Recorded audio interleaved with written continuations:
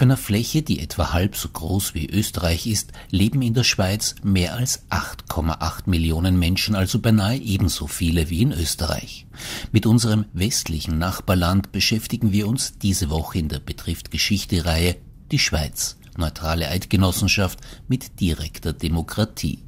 Mehr über die fragilen Fundamente der Schweiz erfahren Sie nun vom Historiker André Hohlenstein. Die Eidgenossen spielen seit dem späten 15. Jahrhundert eine wichtige machtpolitische und militärische Rolle, insbesondere auch in den Italienkriegen, wo man manchmal mit Frankreich verbündet ist, manchmal mit Habsburg und dem Reich verbündet ist und dem Papst.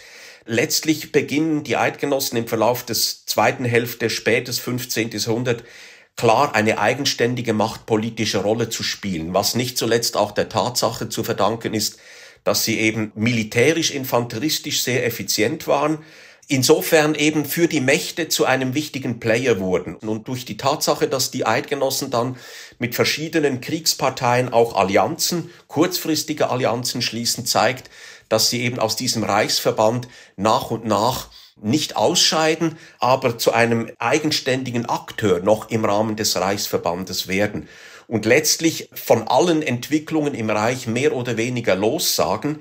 Sie nehmen nicht an den Reichsreformen von 1495 teil, sie besuchen die Reichstage nicht mehr, sie zahlen auch keine Reichssteuern, also sie geben dem Reich zu verstehen, wir gehören zwar dazu, aber all das, was ihr von uns wollt, da versagen wir uns, da machen wir nicht mit.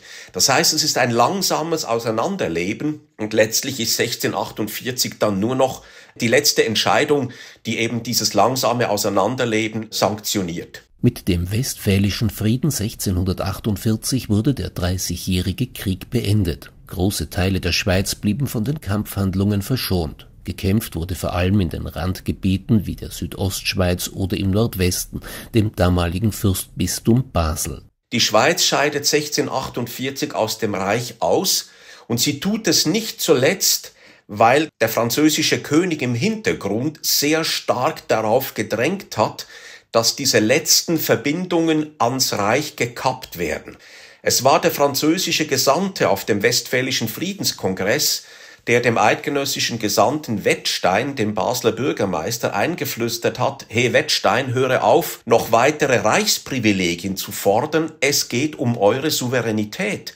Das ist der Begriff, den ihr in die Waagschale werfen muss. Ne? Und warum tut Frankreich dies? Frankreich hat ein eminentes Interesse, die Eidgenossenschaft definitiv aus dem Reichsverband herauszulösen, um die Orte noch enger an sich zu binden. Also deswegen ist diese schöne Erzählung von der Unabhängigkeit vom Reich höchstens die halbe Wahrheit, denn die wird gewissermaßen eingehandelt um den Preis einer noch stärkeren Abhängigkeit von Frankreich. Und das ist in der traditionellen Nationalgeschichte gerne unter den Teppich gekehrt worden, dass die Schweiz nach 1648 sehr stark in der Regierungszeit Ludwigs des 14., des 15. letztlich ein französisches Protektorat war.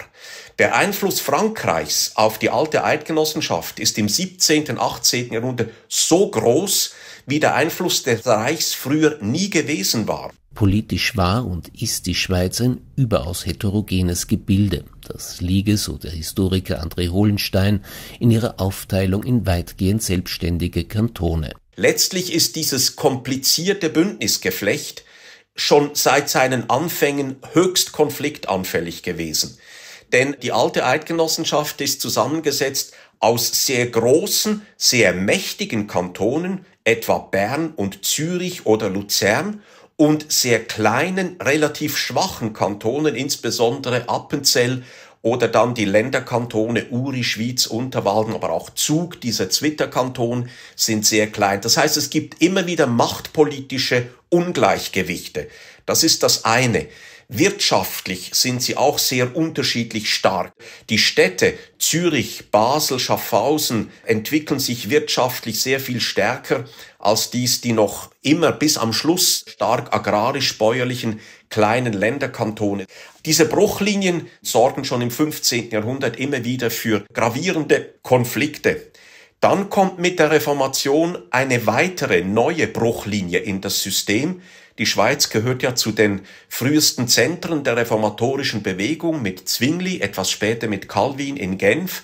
Die Tatsache, dass es nun Neugläubige und Altgläubige, später wird man sagen protestantisch reformierte und katholische Kantone gibt, fügt dem ganzen System eine neue Bruchlinie ein. Zum Glück aber haben sich diese Bruchlinien nicht gegenseitig verstärkt, sondern sie lagen über Kreuz miteinander. Sie haben sich ein Stück weit gegenseitig neutralisiert.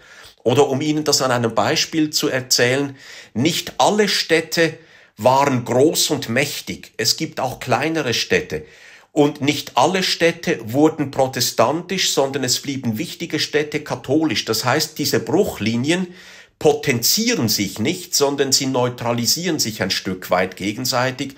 Und das hat nicht zuletzt eben dazu beigetragen, dass gewisse Gemeinsamkeiten letztlich halt doch immer noch überwogen und dieses komplexe Gebilde nicht auseinanderflog, wie man es hätte vermuten können.